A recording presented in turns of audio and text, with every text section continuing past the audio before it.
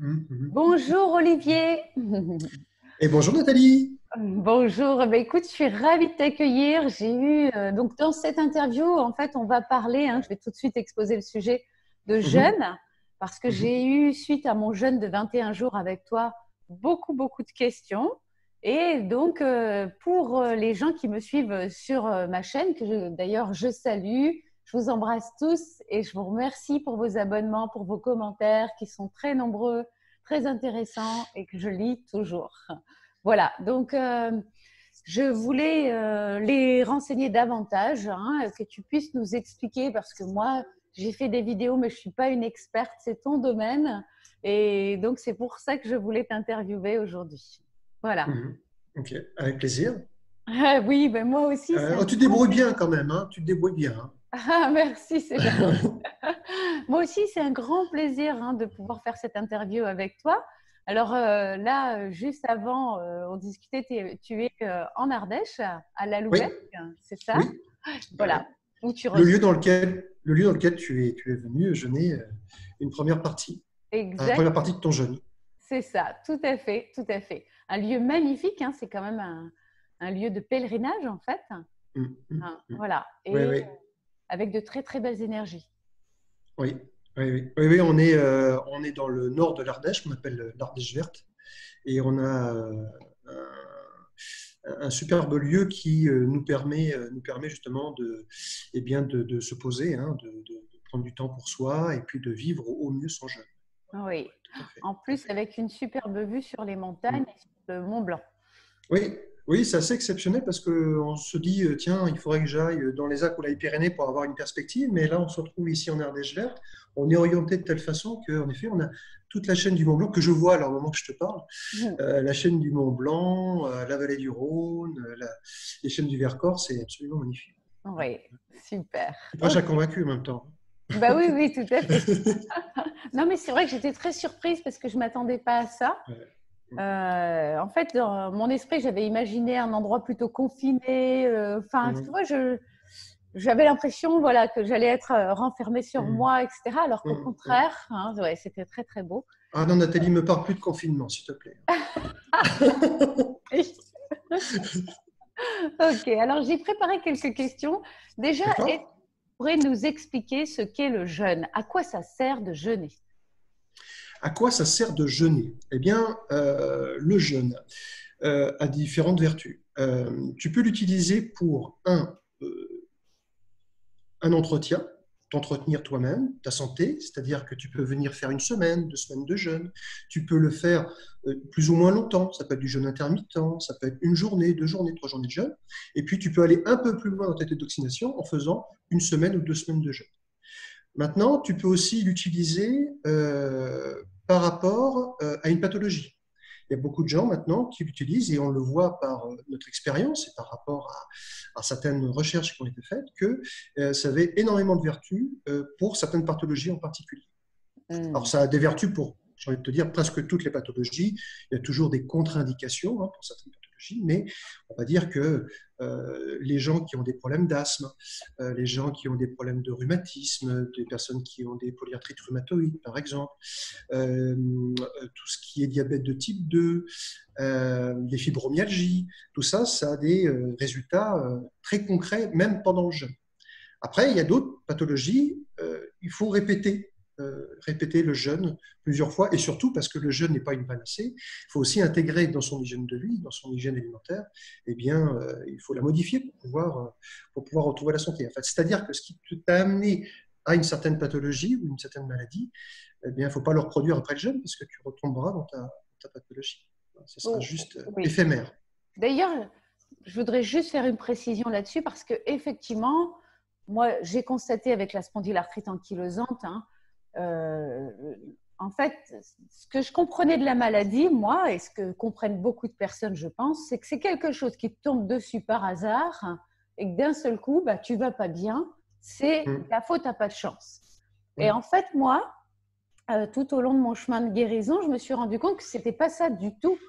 C'est qu'en fait, notre corps, d'abord, il nous parle avec des symptômes, avec des mots MAUX parce qu'il n'a pas de mots MOTS.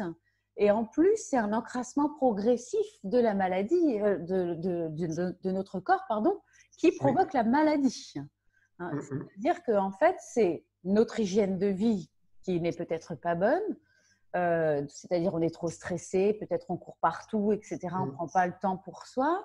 Également l'alimentation aussi qui est peut-être à revoir parce que on développe, euh, comme moi j'ai développé des, des, allergies par rapport à certains aliments, ou pas forcément mhm. allergie, mais en tous les cas intolérance. Intolérance. Voilà. Et également aussi tout ce qu'on pense, tout ce qu'on se dit, comment on vit, si on respire, si voilà. Hein. Tout ça, c'est très très important. C'est-à-dire c'est un, un, une intoxication progressive du corps et de l'esprit. Eh oui, eh oui. Ce que je dis souvent, c'est que la maladie, ce n'est pas un événement. Je ne sais pas si on avait déjà parlé avec toi, mais la mm. maladie n'est pas un événement, c'est un processus en fait. Et des fois, il est invisible ce processus. Mm. Donc, euh, Tout à fait, il est invisible. Et... dans la spondylarthrite, moi, c'est ce que j'ai vu, c'était totalement invisible. Et pourtant, mon corps m'a envoyé plusieurs alertes et à chaque fois, je les éteignais avec mmh. euh, à coup de chimie, médicaments, mmh. euh, et paf, mmh. euh, voilà, je repartais vite au travail. Voilà, hein, même j'étais hospitalisée en urgence vendredi. Le dimanche, je signais une décharge pour être au travail le lundi, etc. Et, évidemment, avec tous les médicaments que j'avais ingurgités, etc., ça avait arrêté le processus d'alerte de mon corps, mais euh, c'était pas soigné. C'est ça. C'est ça, c'est qu'aujourd'hui, on a une approche dans la médecine moderne mmh. qui est importante. Hein, quand on a une pathologie aiguë, on a des symptômes aigus, euh, on a besoin de la médecine moderne. Mais euh, il aurait tendance, euh, dans des maladies chroniques comme tu as pu avoir, de mettre un tampon. En fait, on met un tampon sur le symptôme sans essayer de comprendre bah, comment on pourrait travailler à l'origine du mal et comprendre pourquoi cette pathologie est arrivée. Ça, c'est une démarche individuelle. ça demande, ça demande de l'intérêt, de la curiosité et puis puis être persévérant parce que, bah, mm. comme on dit, il faut être patient aussi. Hein. quand on, on, veut approcher, on veut retrouver la santé ou la maintenir durablement par des méthodes naturelles, il faut, euh, il faut de la patience. Il faut être patient. Mm, mm, Alors, je ne dis pas qu'il faut autant de temps pour retrouver la santé que le temps qu'il nous a pris pour tomber malade, mais il faut plus de temps qu'à cacher, oui. Parce que notre corps est extraordinaire, en fait. Il est programmé pour s'auto-guérir. D'ailleurs, tu peux nous expliquer ce qui se passe concrètement quand on jeûne? Euh, qu'est-ce qui se passe concrètement quand on jeûne? Eh bien, euh, bah, il y a différentes phases. On va dire qu'il y a euh, deux phases, trois phases. Hein. Il y a une première phase. Notre corps, en fait, nous sommes remplis de cellules. On a des milliards de cellules et qui ont besoin, pour fonctionner selon l'endroit où elles se trouvent, d'un carburant. Et ce carburant en particulier, ça s'appelle le glucose. Et c'est du glucose alimentaire en, premier, c'est-à-dire que de par notre alimentation, on va fournir au travers de notre organisme à notre sang et donc par la suite à nos cellules euh, du glucose. Et ce glucose va être le carburant. Seulement, on n'a pas beaucoup de, de cette alimentation-là pour nos cellules. Et on va passer dans une deuxième phase. C'est-à-dire que le corps est, formidablement intelligent. On apprend qu'il gère tout en autonome. Hein. On n'a pas besoin de le contrôler. Il sait faire. Et donc, euh, quand on voit que les taux de glucose se diminuent tout doucement dans la circulation sanguine par des capteurs hormonaux divers et variés, je n'ai pas trop envie d'aller dans le détail, mmh. eh bien, il va, il va engager euh, un autre processus en parallèle il va aller déstocker le foie et les tissus euh, de ce qu'on appelle le glycogène. Le glycogène, c'est en fait du glucose en forme de stockage. Et il va le déstocker pour le réintroduire dans la circulation sanguine et puis renourrir les cellules. Mais ça encore, ça va durer encore 24 heures. Donc là, on arrive 48 heures, 72 heures à peu près. Et là, on rentre dans un autre phénomène. Et là, le phénomène, là, c'est un phénomène très intéressant on va, on va rentrer dans ce qu'on appelle la production de corps cétonique et ça va passer par euh, ce qu'on appelle une néoglucogénèse, c'est-à-dire que on n'a plus de glucose, on a peu de glucose, on a peu de glycogène déstocké, et là, parallèlement, on va aller chercher dans nos gras. Alors, il y a une petite phase, on va chercher dans nos protéines, on appelle ça les, acides aminés glucoformateurs qui ont apporté un peu de sucre, mais surtout, on va aller chercher euh, du gras, on va aller chercher des triglycérides. Et donc, les triglycérides, euh, eh bien, ils vont fournir d'une part, une part euh, un apport glucidique, mais aussi ils vont fournir au travers des acides gras euh, des corps cétoniques. Et plus on va avancer dans le jeûne, plus on va produire en fait de corps cétoniques, et ce qui va avoir différentes vertus. On va, on va, on va, quand on arrive en, troisième jour, quatrième jour de jeûne, il y a tout un travail, ce qu'on appelle d'autophagie, d'apoptose, qui va donc, est-ce que j'ai besoin, tu penses, d'expliquer autophagie, apoptose? En fait, les cellules vont se. Oui.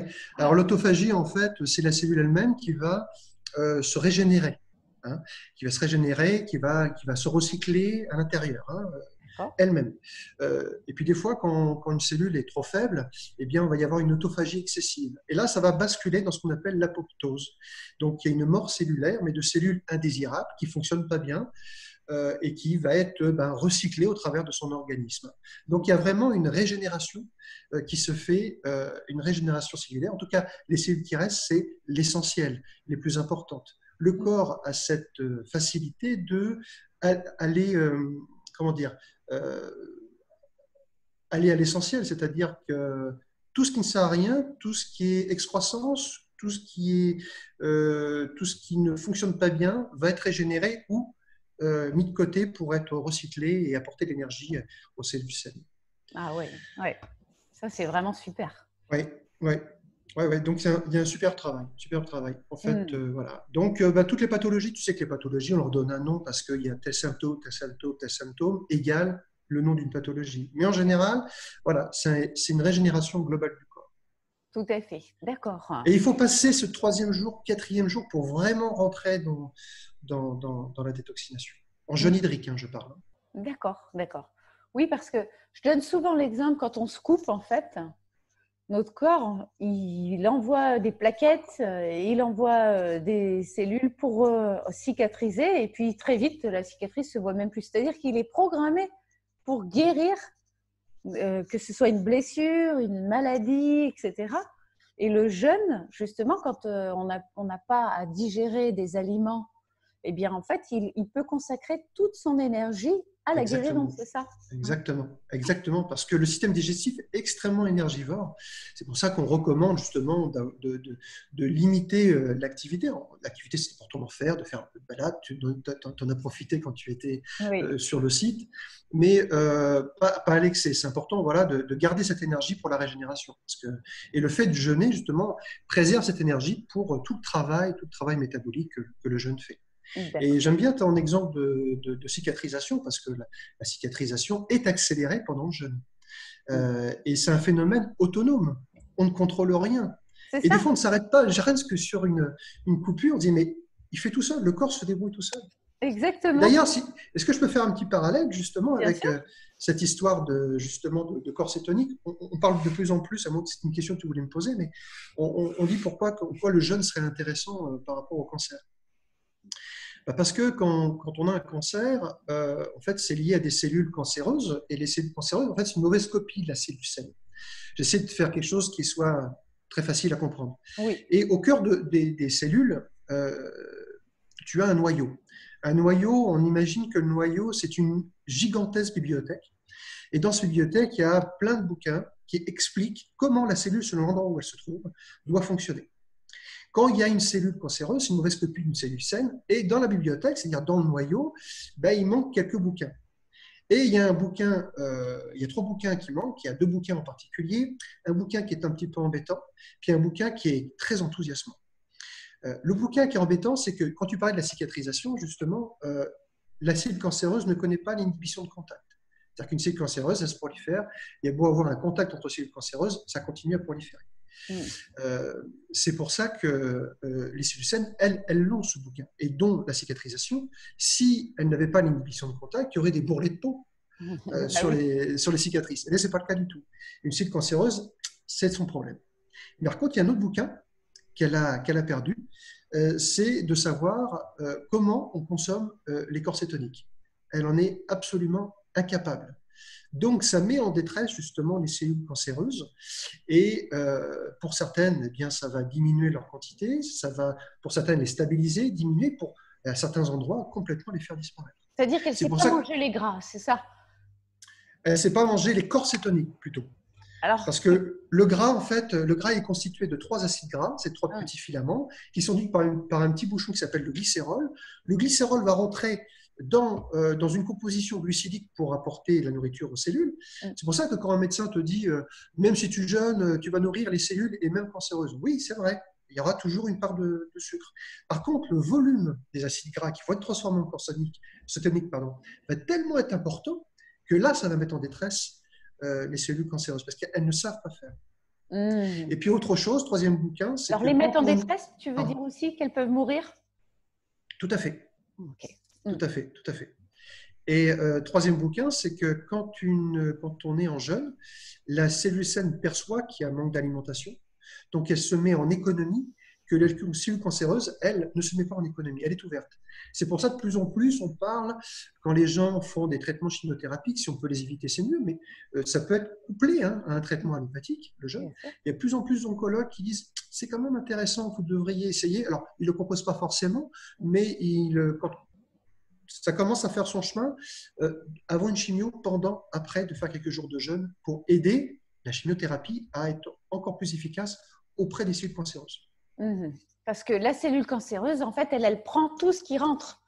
Ah oui, elle ne comprend pas. Elle, euh, voilà, elle est toujours ouverte. Euh, quand, mmh. elle, est, quand elle est en jeûne, elle n'est pas, elle pas en alerte, elle ne se met pas en, elle se met pas, comment je veux dire, en économie. Une cellule saine, oui. La chimiothérapie, elle va se concentrer plus sur les cellules cancéreuses ah bah sur les cellules saines dans, un, dans le cas d'un jeûne. Dans le cadre d'un jeûne, oui. C'est pour ça qu'on recommande souvent deux jours avant, un jour pendant, deux jours après. Mais euh, voilà, mm. après, c'est, ça dépend aussi de la, fréquence des chimiothérapies. C'est mm. pas, Il y a pas évident d'adapter ça. Où ils le font déjà. Mm. Oui. Ouais. Mais le mieux, c'est toujours pareil, c'est de se préserver d'arriver à cette étape-là.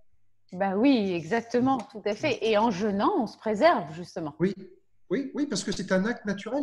Mmh. Euh, on a toujours jeûné. On s'est trouvé, le, corps sait faire dans des moments de disette, de famine. Par contre, la suralimentation, il ne sait pas faire. C'est ça. Mmh. Voilà, donc nous arrivons à la fin de la première partie. J'espère que cette interview vous plaît et surtout euh, qu'il répond aux questions que vous pouvez vous poser. Et on se retrouve euh, dès la semaine prochaine pour la suite de cette interview avec Olivier. Je vous embrasse très fort. À très vite.